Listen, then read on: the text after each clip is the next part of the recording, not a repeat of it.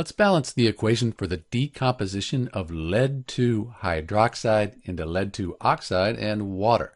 So this is a decomposition reaction. We have this compound here and it's breaking down into two different compounds. To balance the equation, let's count the atoms up. We have one lead and then for the oxygen we have one, but this 2, it goes to everything here. So 2 times 1, that'll give us 2 oxygens, 2 times 1, 2 hydrogen atoms. Product side, we have the 1 lead and then we have one oxygen here, but we also have one here. So we have a total of two oxygen atoms. Be careful with that.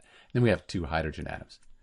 It looks like everything is the same on both sides. So this equation is actually already balanced. We have one lead on each side, two oxygens, and then two hydrogens.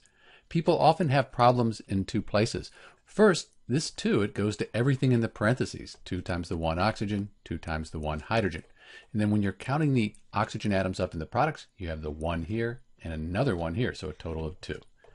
Again, this is a decomposition reaction. We have PbOH2 going to lead 2 oxide and water. This is Dr. B. Thanks for watching.